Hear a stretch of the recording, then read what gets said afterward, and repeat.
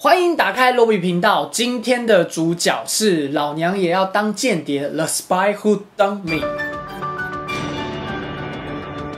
有演过《黑天鹅》《熊妈吉》《好友万万岁》《阿姐万万岁》的 Mina Kunis，以及新一代的喜剧谐星 Kate McKinnon 主演，Susanna Fogel 执导。老娘也要当间谍。剧情叙述：Mina Kunis 饰演的主角 Audrey，在被男朋友无情的以简讯分手之后，突然发现这个前男友他不是普通人，而是掌握重要情报的 CIA 特务。然后她和她的好闺蜜两个妹子意外的卷入一起世。界级的阴谋当中，这是一部整个电影院会跟你一起大笑的电影。我觉得是有比我预料之外的还要好笑。整体剧情基本上也推动的很流畅，只有在最后有一点点的缺点。我在看电影的时候是比较忍不住笑的那种观众。通常在前面观众还在会心一笑的时候，我已经是会笑到整个电影院都听到我的笑声的那一种人。这部老娘也要当间谍是让我真的笑到不行的一部电影，很开心的一部动作喜剧，而动作戏的部分也是很精彩、很好看的。英文片名《The Spy Who Dumb Me》很明显的是在模仿。零零七海底城这部电影的原文片名《The Spy Who Loved Me》，之前拍了三集的恶搞喜剧《王牌大间谍》也是用同样的方法去取它的原文片名。有女性当主角的谍报喜剧，在近期都还算是蛮成功的，像是 Melissa McCarthy 主演的《麻辣间谍》，或者是还有 Central Block 的《麻辣交锋》。而这部《老娘也要当间谍》最大的特色，就是这两个年轻的女演员，她们本身的喜剧性格以及这个角色的设定，这两个女主角。是相当普通的平凡人，在面对一连串危险的事情发生在他们的身上的时候，那个反应是相当的好笑的，呃，非常的惊恐，然后又可以急中生智。这两个人也在这部电影当中，在危急的情况之下做了相当多疯狂的事情。不过在台词的笑点部分，我想可能就不是每一个人都会喜欢的，像是我也不是每一个笑点都会觉得好笑，有的地方不知道是本来就没有那么好笑，或者是。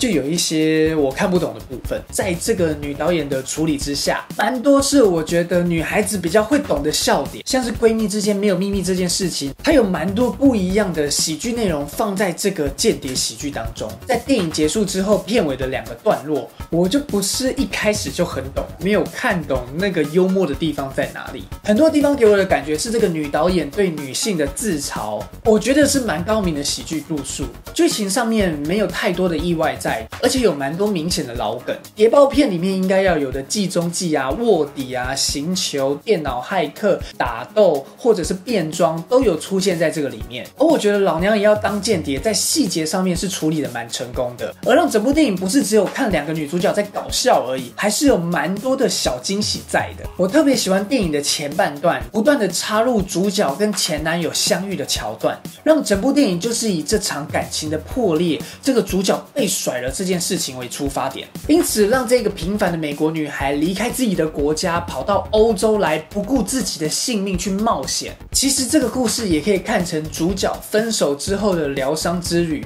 或者是一个女性受伤之后要复仇的故事。而演员部分很惊喜的看到《X 档案》的 Gillian Anderson，但是他好像就是来摆摆架子而已。两个男配角都算是称职，尤其在他们负责的动作戏上面是非常的好看又成功的。同时又没有抢走太多主角的光彩。有看过 Kate McKinnon 演戏的人，大概就知道他永远都是同一个样子，疯疯癫癫、很浮夸的表演。有一种女版金凯瑞的感觉，在这一部电影当中，我觉得是蛮适合她的，给了她一个比较平凡的角色，让她就像是你身边的朋友一样。Mila Kunis 则比较没有发挥的空间，但是她也很重要，在奠定这一部喜剧比较生活的那个基调，在让她不会像是其他部间谍喜剧一样那么脱离现实的夸张。这是一部很适合约会去看，或者是找几个姐妹一起去看的动作喜剧，很不错，很放。松很舒压，演员的表现很可爱，故事流畅又有趣，是一部恶搞零零七又没有那么恶搞的间谍喜剧，特别推荐给在自己被甩之后也有幻想过自己的男女朋友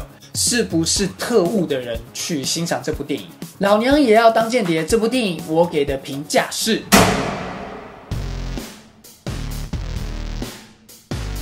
以上这就是今天的影片了，希望你喜欢今天的内容，请帮我按赞，还有把它分享出去，还有找找你的订阅钮，订阅我的频道。如果你想要在第一时间之内知道我上传影片消息，别忘了在订阅之后赞一下那个小铃铛。如果你有任何的意见或者想法，欢迎在下面留言让我知道。这是罗比频道，祝你今天可以看到一部精彩的电影。我们下次影片见了，拜拜。